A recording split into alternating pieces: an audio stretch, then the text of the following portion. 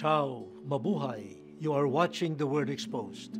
Let us behold Jesus, the Word incarnate, revealing himself to us in the Sunday readings.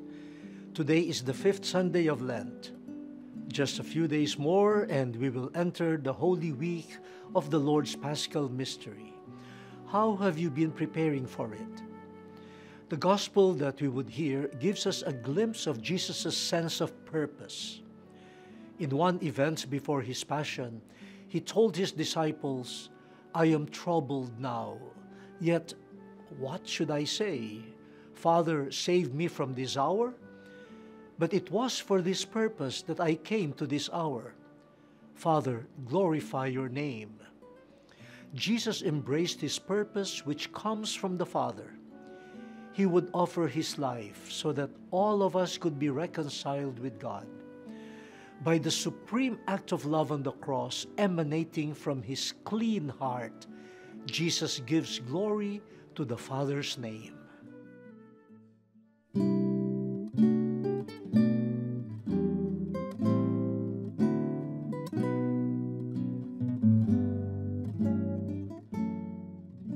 First reading A reading from the book of the prophet Jeremiah. The days are coming says the Lord, when I will make a new covenant with the house of Israel and the house of Judah. It will not be like the covenant I made with their fathers the day I took them by the hand to lead them forth from the land of Egypt, for they broke my covenant, and I had to show myself their master, says the Lord. But this is the covenant that I will make with the house of Israel after those days, says the Lord. I will place my law within them and write it upon their hearts. I will be their God, and they shall be my people. No longer will they have need to teach their friends and relatives how to know the Lord. All, from least to greatest, shall know me, says the Lord, for I will forgive their evil doing and remember their sin no more. The Word of the Lord.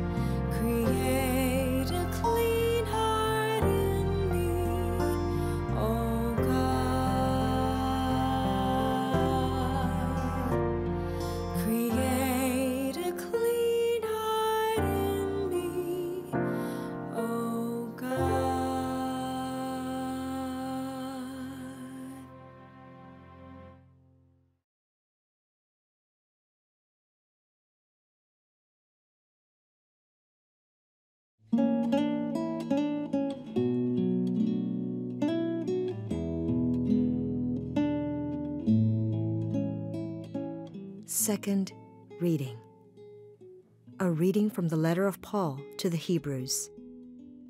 In the days when Christ Jesus was in the flesh, he offered prayers and supplications with loud cries and tears to the one who was able to save him from death, and he was heard because of his reverence.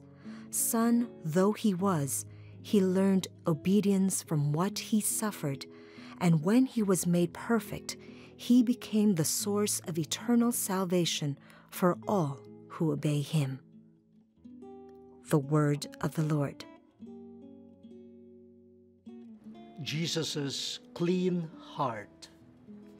On this uh, fifth Sunday of Lent, let us go to the heart, the heart of Lent, which is the heart of Jesus. And in our times, I think it is important to recover the biblical meaning of the heart, especially the heart of Jesus. Let us go to the heart of the matter, especially at this time when uh, the heart is often used as a symbol of sheer sentimentalism.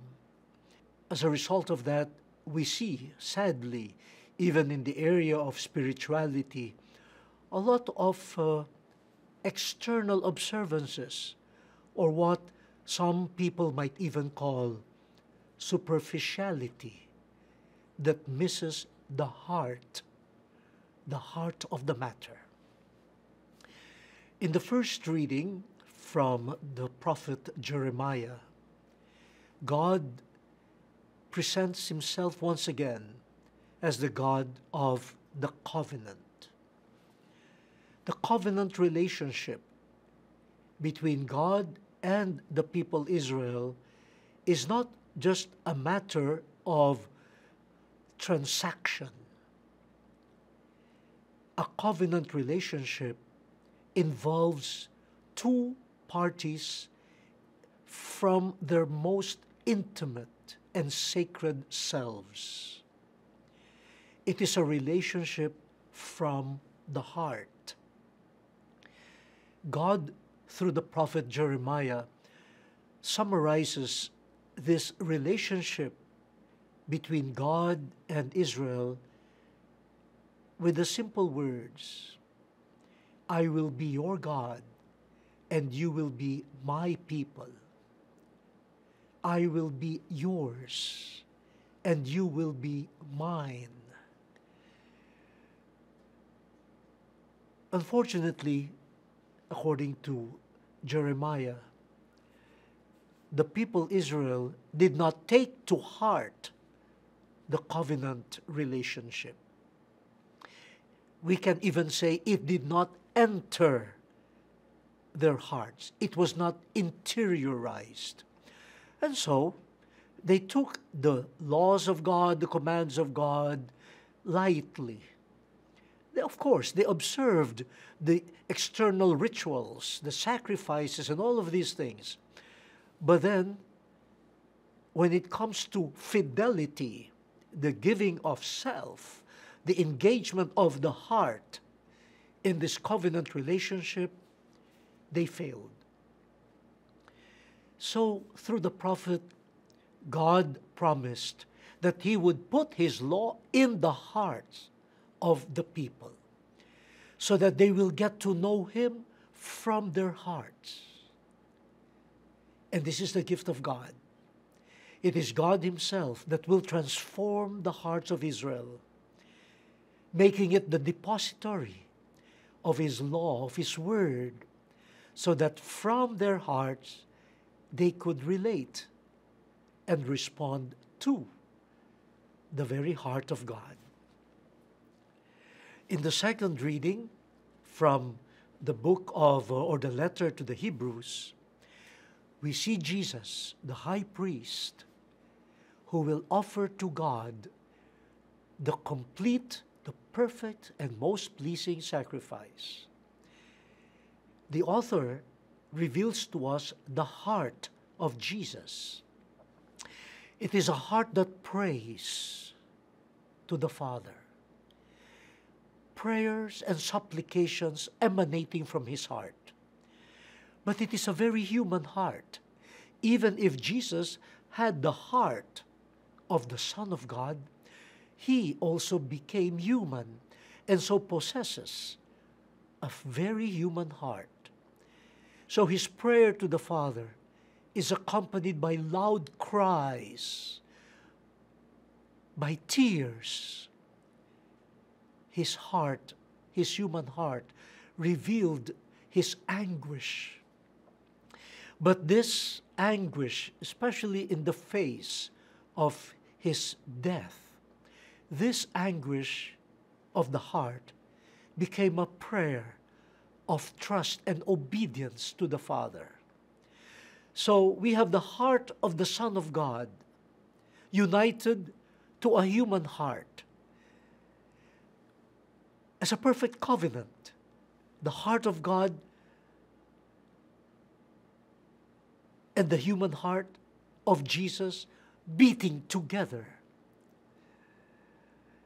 in obedience to God and the love of God for humanity, all contained in the heart of Jesus. And so, according to the letter to the Hebrews, this heart of Jesus that was made perfect through his obedience as a human being to the Father became the source of salvation to many brothers and sisters. Salvation because it was a heart of obedience and a heart of compassion, the heart of a covenant. And from that heart, we have been saved. Please let us look at the clean and pure heart of Jesus.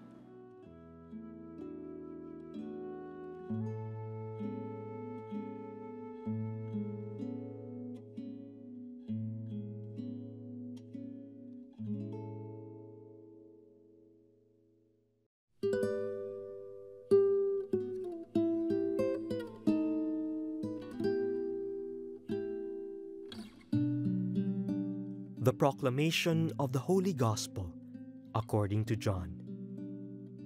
Some Greeks who had come to worship at the Passover feast came to Philip, who was from Bethsaida in Galilee, and asked him, Sir, we would like to see Jesus. Philip went and told Andrew. Then Andrew and Philip went and told Jesus. Jesus answered them, The hour has come for the Son of Man to be glorified. Amen, amen, I say to you, unless a grain of wheat falls to the ground and dies, it remains just a grain of wheat. But if it dies, it produces much fruit. Whoever loves his life loses it, and whoever hates his life in this world will preserve it for eternal life. Whoever serves me must follow me, and where I am, there also will my servant be. The Father will honor whoever serves me. I am troubled now, yet what should I say? Father, save me from this hour? But it was for this purpose that I came to this hour. Father, glorify your name. Then a voice came from heaven I have glorified it and will glorify it again. The crowd there heard it and said it was thunder, but others said, An angel has spoken to him. Jesus answered and said, This voice did not come for my sake, but for yours. Now is the time of judgment on this world. Now the ruler of this world will be driven out, and when I am lifted up from the earth, I will draw everyone to myself. He said this, indicating the kind of death he would die. The Gospel of the Lord. Jesus' clean heart. I propose that we go to the heart of uh, the passion of Jesus Christ, which is in his heart. That's where it begins. In the first reading, we see how God is the God of the covenant with Israel. But the covenant is not just a superficial transaction, it is not just a set of rules or contracts. It involves the hearts of the parties in the covenant relationship. I will be yours, I will be your God, and you will be mine, you will be my people. Unfortunately, Israel remained on the external observances. So God, out of His bountiful love, will place His law in the heart of Israel, so that from the heart, from within, they will develop a relationship of fidelity with God who is faithful to them. In the second reading, the heart of Jesus is presented to us by the letter to the Hebrews. It is a divine heart because He is the Son of God. And so it is a heart always turned to the Father in obedience. But it is also a human heart that prays, that is filled with fear and anguish. But in his human heart, he learns how to be obedient also to the Father. And so, in the heart of Jesus, we have the covenant fulfilled, the heart of God and the human heart in full harmony. And when his human heart was perfected by what he suffered in obedience, he became the source of salvation for all of us, a new covenant in the heart of Jesus. In the Gospel, from the Gospel of St. John, we see the curiosity. I hope it was a healthy curiosity on the part of people who approached Philip. Said, We want to see Jesus. We want to see Jesus. But what do they want to see? Do they want to see his looks or uh, his long hair? They, they, they want to see how he, how he moved, how he walked, or what? What did they want to see? We. How about us? When we want to see someone, what are we interested in? Jesus, in response to this request that people uh, see him, talked about his heart, especially the heart that is facing his death. He revealed that his heart understands what he is going through in his passion and crucifixion. He likens himself to a grain that will fall to the ground and dies, so that it will bear much fruit. In his heart also, he finds a lot of anguish.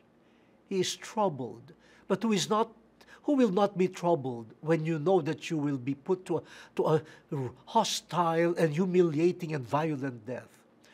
But then his heart also says, I will not ask my Father to save me. I will not ask the Father to stop this moment. For in his heart he knew his purpose. My purpose for coming is precisely for this hour. It causes me anguish, but this is also a, an hour of fulfillment. And I will face it. His heart is ready to jump into this moment, for at that moment, he will be fulfilling his mission, his covenant with the Father, and he will give glory to the Father.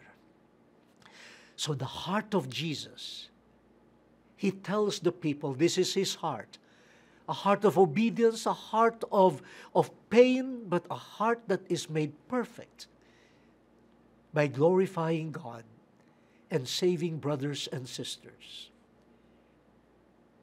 Did the people who were curious about Jesus see his heart? Brothers and sisters, what do we see in Jesus?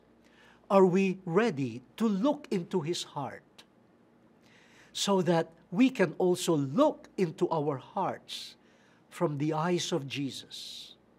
Remember, Jesus during his ministry condemned a type of spirituality, a type of, uh, of uh, pleasing God that is just an external show. But in their hearts, those who did these external observances in their hearts, they were not obeying God. They were not compassionate to their neighbors. They just wanted to be seen, to be admired. They become self righteous. Jesus invites us to go into our hearts, and may our hearts be transformed into His clean and pure heart. The word has been exposed. Let us now fulfill it.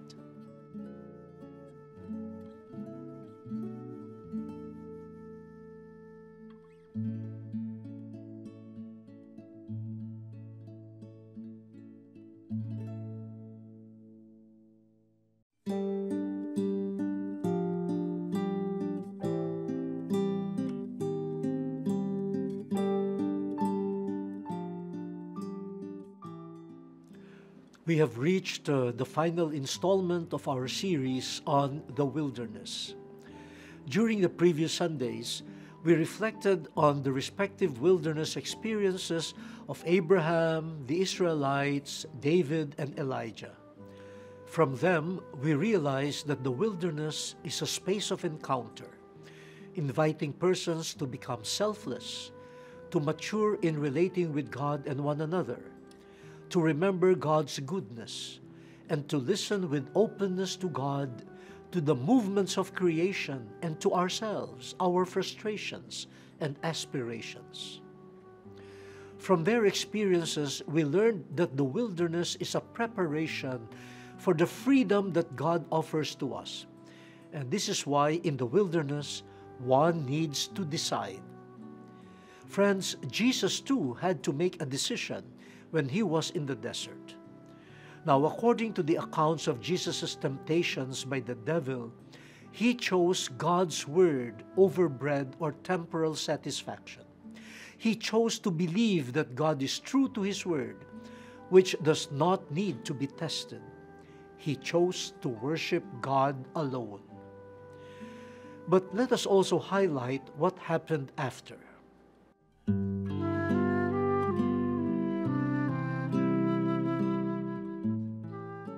The devil left Jesus, brothers and sisters, because Jesus was firm and deliberate in his response to the devil's temptations. On one occasion, Pope Francis pointed out that Jesus never negotiated with the devil. This is because what the devil offers will not lead us to freedom. He wants us to be unsure of ourselves and doubtful of God. Take, for example, how big he began his first temptation. If you are the Son of God, friends, by addressing Jesus in this manner, the devil wanted him to question his identity in relation to God.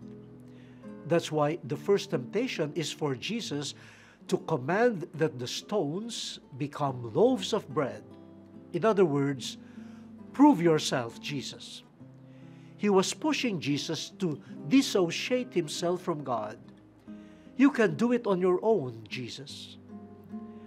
Then the second temptation is for Jesus to throw himself down from the parapet of the temple.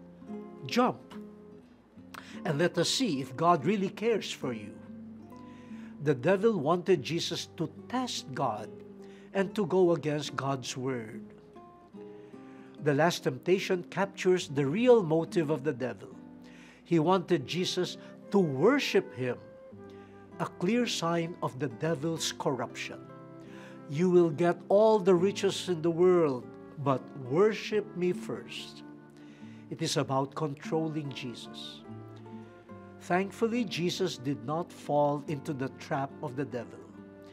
If the offer leads you to be disconnected from God, if it leads you to go against God's word, if it leads you to being controlled by the devil, it will not lead you to freedom. On the contrary, you become a slave. So, when faced with temptations in the wilderness of daily life, let us follow Jesus' handling of his own temptations. Jesus is firm in his belief in God's word. He is confident about who he is. He trusts God. Friends, may our decisions lead us to choose God and the real freedom that He offers. Pope Francis teaches us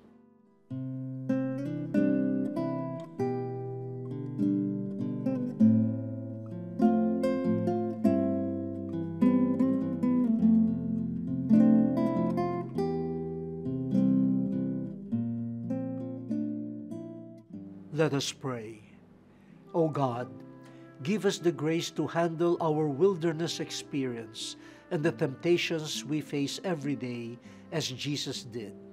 And should we fail, send us your angels to console and encourage us that we may finally choose you and attain true freedom. Amen. Have a meaningful Sunday.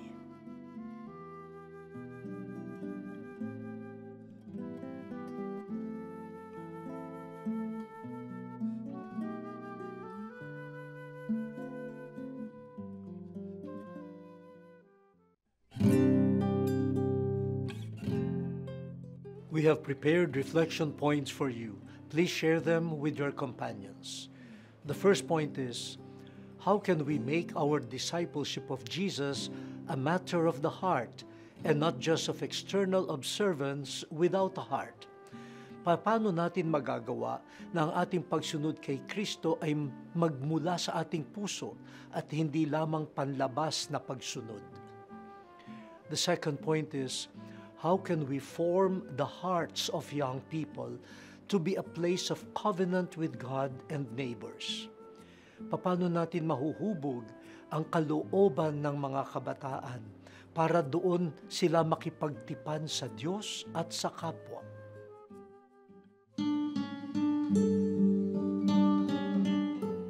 Heavenly Father, you have blessed this humble program with a decade of mission on air.